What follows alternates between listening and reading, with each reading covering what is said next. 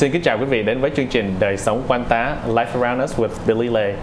Kính thưa quý vị, uh, chúng tôi uh, vừa episode vừa, vừa rồi chúng tôi mời được hai anh bạn đến từ uh, lực lượng yểm trợ tuần duyên Hoa Kỳ đến với chúng ta và sau đó chúng tôi có cơ hội để mời hai anh đến trở lại để mà chia sẻ thêm về những cái uh, công việc uh, những cái roles những cái job duties của các anh khi mà các anh tham gia à, một lần nữa Billy xin gửi lời chào đến à, cựu trung tá Don Nguyễn and Mr. Rudy. Hello everyone for being back again. Thank Xin you. À, cảm ơn, cảm ơn. Could you say hello Thanks to the audience? À, xin ca, chào à, khán giả của đài ABC TV và hân hạnh được à, lên à, à, talk show với lại Billy. Dạ vâng, Mr. Rudy. say Well, hello. just well, thank you all for allowing me to be here. It's a pleasure. Thank you for letting me be here, sir. Thank you for coming back to, to our show today and, and realize um, now that I'm seeing you again with your uniform, I see a lot of uh, ribbons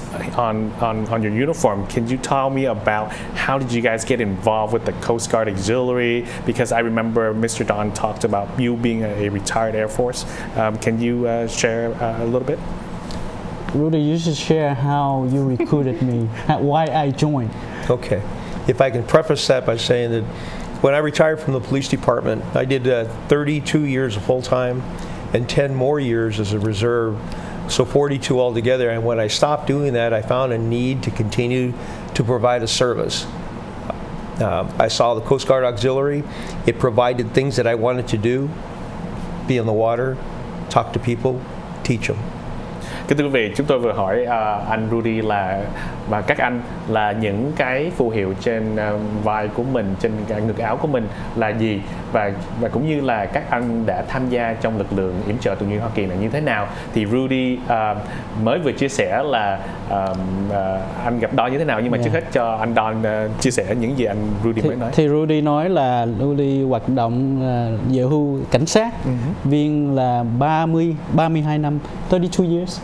32 năm Wow. và những thêm vài năm nữa và ảnh thấy um, có cơ hội để giúp cộng đồng À. chia sẻ về những gì mà ảnh uh, thích như ảnh thích uh, uh, đi biển À, tàu đó là ảnh the thích thì trong gần biển gần hoạt động uh, là ảnh cũng là chủ tàu đó Ồ. đó đó đó thì ảnh thấy cái cơ hội này vô cái lực lượng này để chia sẻ và cho phục vụ tình nguyện không và có cũng nói lương chuyện với người luôn. đúng và thích ảnh chính chia sẻ vậy À. những người trẻ người lớn người chủ tàu luôn Oh, I see.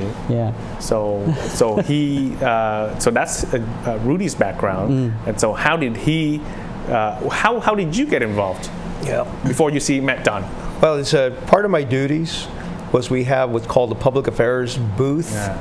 at the boat shows. Uh, and we had a booth, and Mr. Wynn happened to come by and asked about the auxiliary.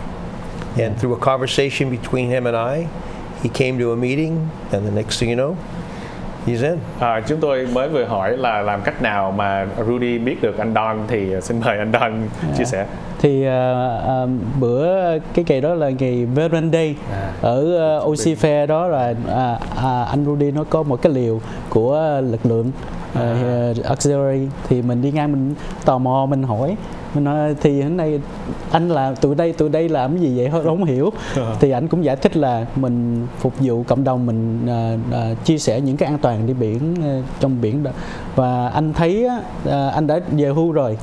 Thì anh thấy một cái gì mà à, mình yêu mà mình à, muốn phục vụ cộng đồng nhất là cộng đồng Việt Nam của mình. Ít họ ít ai biết về cái lực lượng này lắm. Đúng rồi. nên mình cũng ô vậy thôi mình tham mình đi xem họp như thế nào đó. Thì mình đăng ký mình vô cái member mình thành một người tình nguyện viên luôn. So that's how đó thì thì thì thì, thì vậy thôi.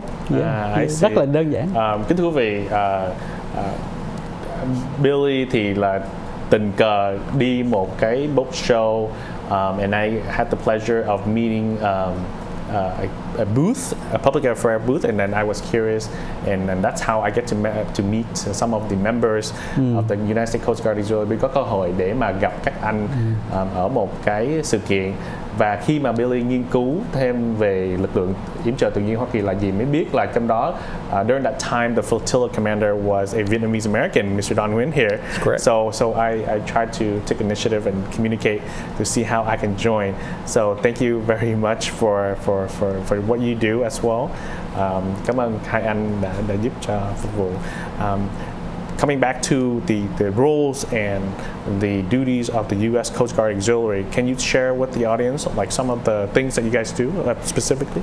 Want me to handle that? Yeah, you can. Uh, Okay. You're going to go through this a lot. Yeah. yeah. Well, the Coast Guard, um, it's, it's hard for some people to believe this, but there's so many duties that we're permitted to do. Uh, one has to do with being on the uh, Coast Guard auxiliary boats that go out and actually serve uh, as a uh, protection thing for an area. Uh, we supplement the Coast Guard active duty. Um, and the crew that's on there is trained by the Coast Guard Auxiliary to be on the water. Kính thưa quý vị, chúng tôi vừa hỏi là các anh trong lực lượng yểm trợ vùng tự nhiên Hoa Kỳ làm những cái bộ phận gì thì khi mà anh Don thông dịch thì xin mời đài cho những cái hình ảnh của các sự kiện mà các anh ờ, đã làm. Xin mời anh Don. À, thì ờ, lực- cái lực lượng này làm rất là nhiều nhiều ờ, hoạt động ca- công nghệ để phù hiểm trợ của ờ, Coast Guard nhánh. Ờ, thí dụ như cái cái hình này là về truyền tin. À. đó truyền tin là communication là cho những ờ, hoạt động trên biển. Là đây là cái tàu của auxiliary. Đó cái tàu này đó là đi ờ, ờ, đúng rồi đi ờ, kiểm tra những tàu chủ tàu ờ, tàu đang ở biển là cái đây là là cái liều của ờ, Public affairs. public affairs là chia sẻ và ch- ờ, những cái gì mà ờ, lực lượng này làm việc hay là hay là hay là giúp đỡ trong an toàn của cộng đồng Um, Yeah.